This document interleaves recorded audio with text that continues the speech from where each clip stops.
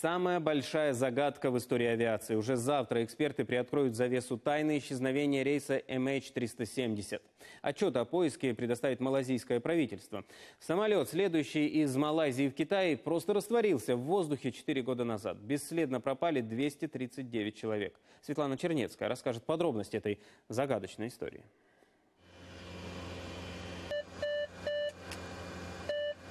Его искали в воздухе, на земле и в воде. Самолет, выполнявший рейс MH370, пропал с радаров через час после вылета из Куала-Лумпура.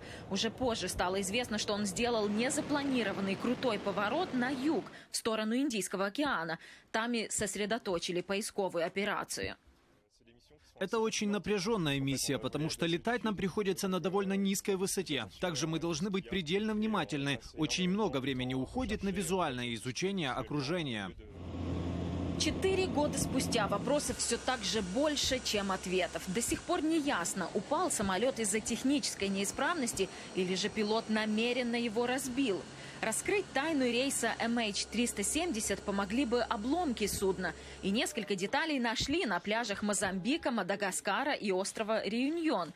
Но их слишком мало, чтобы делать какие-либо выводы. Местные жители даже создавали поисковые патрули, чтобы отыскать возможные улики. Если мы находим что-то подозрительное, тут же сообщаем местным властям.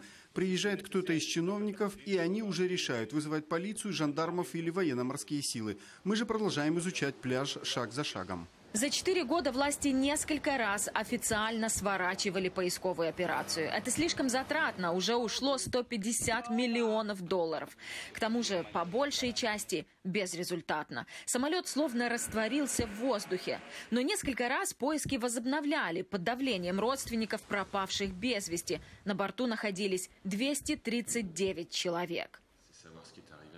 Я долгое время верил, они еще живы. Несмотря на то, что нам постоянно говорили, они мертвы, они упали в океан. Но я до сих пор не знаю, что же произошло на самом деле, и даже скорбить по ним не могу.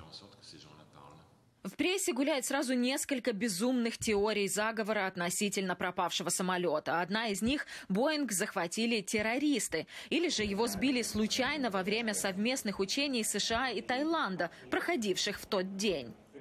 Это действительно самая большая загадка в истории, и я думаю, что она скоро будет разгадана. Вопрос только, когда именно. На данный момент поиски пропавшего рейса закончены. Малайзия, Китай и Австралия заявили, никаких новых операций не планируется. Разве что найдутся новые улики, указывающие на местонахождение лайнера. Уже завтра, возможно, приоткроется тайна самого загадочного происшествия в истории авиации. Малайзия обещает подробный отчет со всеми установленными фактами этой истории. В нем будут отчеты по поискам, анализы найденных обломков и выводы расследователей. Светлана Чернецкая, Сергей Дубинин. Подробности. Телеканал «Интер».